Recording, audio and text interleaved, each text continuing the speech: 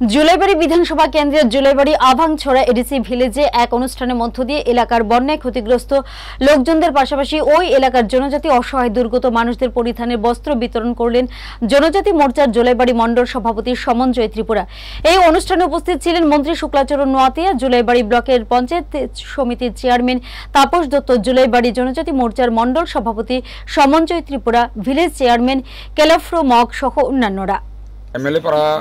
স্থিত আবাংসরা এডিসি ভিলেজের আমরা আজকে মিলিত হয়েছি।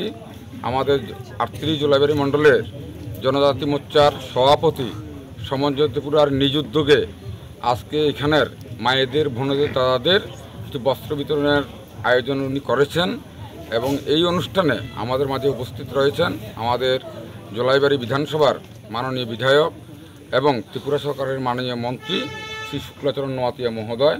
উপস্থিত রয়েছেন আমাদের জনজাতি মোর্চার সভাপতি সমাঞ্জয় ত্রিপুরা মহোদয়।